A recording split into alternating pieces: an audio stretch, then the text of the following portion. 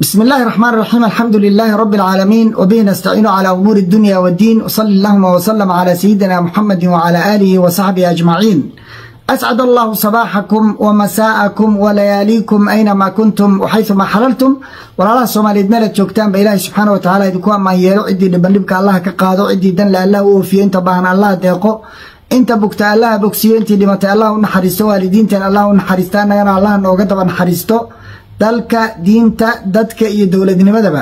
Ilaahay subxaana wa tacaala inoo badbaadiyo.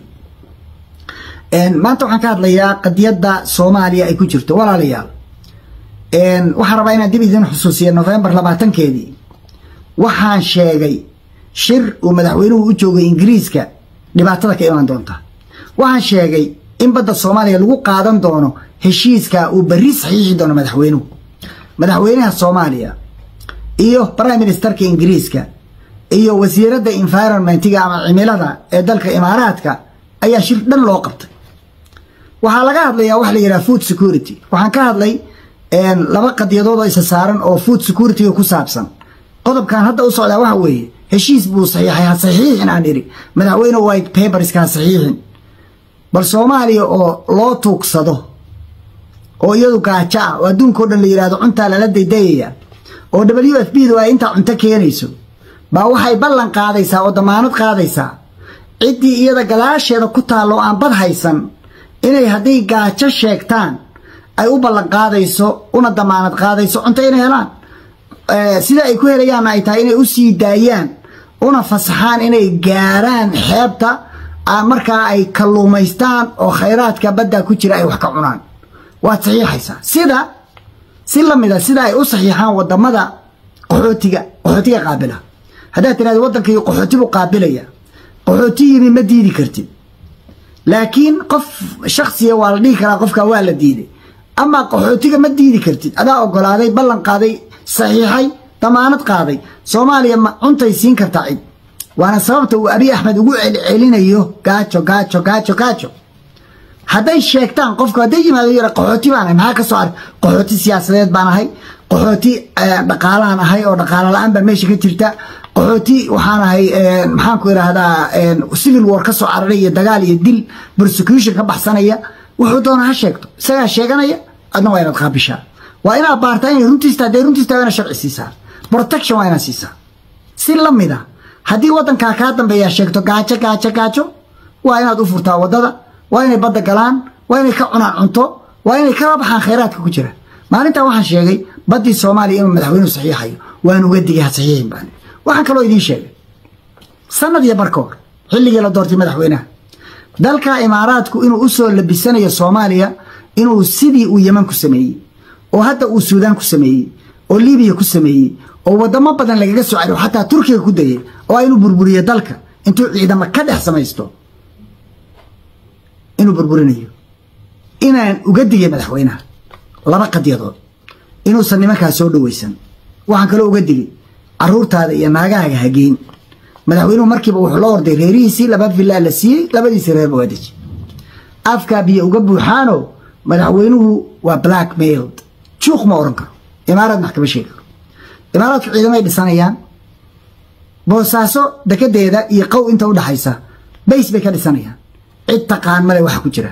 Waxaana loo sheegayaa toddoba boqol oo nin oo colombiyaan inay joogaan. Waxaan idiin sheegay inay isticmaalaan colombiyaan iyo janjawiid si ay dadka u laayaan oo ragga u kufsadaan.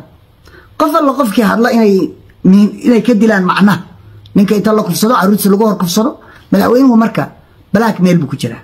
Imaaraadka ka dambeeyey shirkaas bal soomaaliya keligeed maxaa loogu qabtay? Eritrea maa loo qabto? Jabuuti maa loo qabto? Kenya maa loo qabto tanzania maa loo qabto ma keligeena bad leh maxaa loola jeedaa?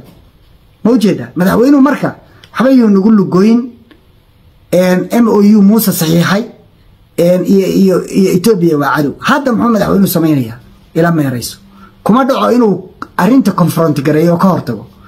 Saa darteed waa inuu sameeya ila meerayso dhuusamaree baan aadayaaba hadda u dambeysay. Oo muxuu ka doonayaa? Shabaab baan la dirirayaa. Ya? Arrinta etoobiyana halkaa ku dhammaato ma ujeeda etoobiyana way diyaar garoobaysaa boorkay u soo socotaa waxay iska soo horumarin doontaa liu boolis oo madaxweynahoodii hadlay oo yidhi waa rabnaa badda waa rabnaa iyo xeebta. Maxaa yeele waa ka faaidaysanayna ummadda ka faaidaysana ka midna. Soomaali baa laysku laynaya hadhowna waxaa la odhanaya ii tiri yaa dhintay. Waxaan idin xasuusinayaa inaan iri inaan iri madaxweynow imaaraad haynoo soo dhoweyn. Waa uu diiday maanta maalintaa waxay carruurtaada hageen iyadana waa diiday. Garan maayo madaxweynaha baahida haysa oo ku kalifaysa isagoo intaasoo milyan oo lacagii gacantiisa soo gelayso oo isagu qaadanaya beer sanado u qaadanaya inuu reerkiisa guri la raadiyey iyo nolol. Waxa xaggee lagu arkay oo ay ka jirtaa bal idinku research sameeya madaxweyne sitting president ah. Oo xaaskiisii iyo caruurihiisii ay dal kale oo ajnabiga jiraan. Waa cagsiga. Mar alla markii qof madaxweyne noqdo faamiliyadiisa meel alle meelay adduunka ka joogaan security baa loo sameeya waardiyaa loo sameeya waxaa laga ilaaliyaa cid kasta oo access u yeelata oo gacanta ku dhigi karta si madaxweynaha blackmail loogu sameeyo. Oo markaas loo toorjargareeyo loogu khasbo inuu waxa wixii la doona laga dhammaysto madaxweynaheenu gacan buu ku jiraa. Waxaan kula talinaya madaxweynaha. Shaqada aa leedahay qabso haddaadan qabsan karin for whatever reason. Walaalow ummadda lugoyn dalkooda ha ka hodin dekadahooda iyo xeebahooda ha bixin ilaahay ka cabso taariikh madow ha gelin iscasil shaqadaan ma qaban kartide iska casil. Weli waa joogtaa safaaraddii. Ciidamadoodii weli waa ku jiraan. Diyaaraddii waa soo degaysaa. Qaadkii weli waa imaanayaa. Waxaadna na leedahay cadow weeye etoobiya disembar lixdeedii wasiirkaagu wuxuu saxiixay heshiis defense ah tictok hadda ka horna wuxuu saxiixay heshiiskii imaaraadka. Waan ka hadalnay waan ka qaylinay. Dheg jalaq looma siin. Maantaan haynaa dekadaha iyo badaha cidda bixinaysa imaaraad weeye yay siinaysaa iyadaa dabada ku wadata. Shirkaa madaxweynuhu markuu ka tegey shirkii ku xigay wasiiraddii la socotay baa mas'uulka ahaydoo waa shirkii cop oo cimilada lagaga hadlayay oo lagu qabtay imaaraadka. Madaxweynuhu waa garab fadhiyey ninka la yidhaha abi axmed. Mid ka dambeeyey bay haddana wada galeen oo lagaga hadlayo maritime security etoobiya maxaa ka khuseeya maritime security? Ma maritime bay leedahay. Yacni waxaan waana la ku waday bias by bias markaan hadli weynayna muuse biixi baa hadda loo wada dadka u wada muuqdoo lagu wada yaacayaa kulligood waxaa lagu wada haystaa bounty. Meel ay u bixi karaanna male siyaasigaas marka dhibaataysan oo nin gaajaysani gob maahee ciladaysan waxa uu kalifayaa dabadlifyadii dalka bixiyey xilligii waagii hore oo kale inay noqdaan. Madaxweynaha marka waxaan leeyahay walaalow ha warwareegin dhuusamareeb iyo shabaab baan la diray iigu kaadi. Etoobiya safaaraddeeda cayri cilaaqaadka jar ciidamadooda saar diyaaradooda jooji run run u difaac dalka. Haddaadan awoodin anigu waa oga inaadan awoodinoo beenta ay tahay. Walaalow dadka ha hodin ka deg xilka baarlamaanka waxaan leeyahay qabsada shaqadiina. Ilaahay lacnadiisa idinku dhacaysa. Haddii dalkaa la qaato idinkoo soo jeeda. Lacnada ilahay baa idinku dhacaysa. Ummadda ka xishooda oo shaqada aad haysataan oo lacagta ku qaadataan oo mushaar ku qaadataan xalaalaysta oo qabta. Labadaa heshiisba soo qabta kala dira oo tuura. Heshiiska aad ku farabaxsanaysaan oo laydinku mashquuliyey oo ah m o u-gi uu muuse saxiixay.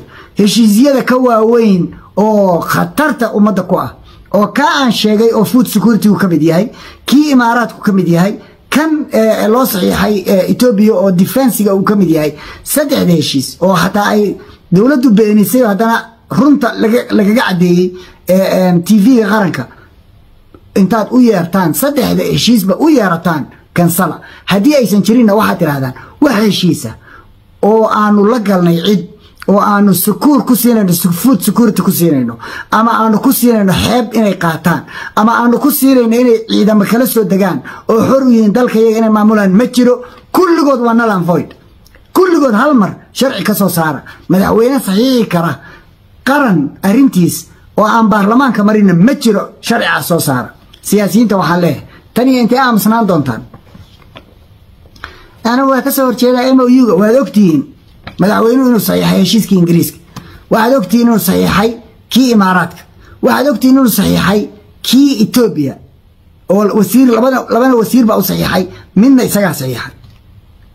Ha aamusnaanine ummadda u difaac difaaca oo u qareema. Oo dalkan la qaadanayo waad ogtihiin waana u jeedaane. Cirka xukumi maysaane.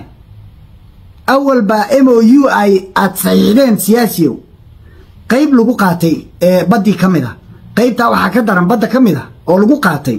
Waxaa ka daran. Waxaad sharciyeyseen n f d inay officially tahay gobol ka mida dalka kenya. Baddaa loo jaray baana u sharciyeysay. Waxaan idin leeyahy nimay xishooda ummadda ka xishooda. Dalkan hadba gobol la goosanayo dan maahay ummadda ka hor dhaqaaqa. Haddaydinaan ku filnayn dowladnimo dalka ka hor dhaqaaqa. Hadla oo cambaareeya oo cadaadiya madaxweynuhu inuu iscasilo ama uu shaqadiisa qabsado. Ila meeraysa inaad ka yeeshaan ma qaar baa difaacaya waxay leeyihiin madaxweynuhu shaqo fiican buu wadaa. Ma wado waa ila meerayso. Ha soo saaro heshiisyada uu galay oo qarsoodiga ah hana keeno baarlamaanka. Kadibna ha laga shiro. Yuu idinku mashquulin al-shabaab baan la dirirayaa iyo madaxweyne iyo madaxweyne ku-xigeen baa dastuurkan bedelayaa iyo yuu idinku mashquulin. Wuxuu u socda waa taqaanaan. Ninkaas waxaa xataa la ii sheegay inuu ka xun yahay waxa dhacaya. Laakiin uusan hadli karin. Imaaraadkan uu ka baqayo. Idinku hadla marka. Intiina kale oo aan imaaraadka cidi ka jirin. Caruurihiin iyo naagihiinana ha geysanina imaaraadka. Ilaahay baa irsaaqadiida siiye meel kale geysta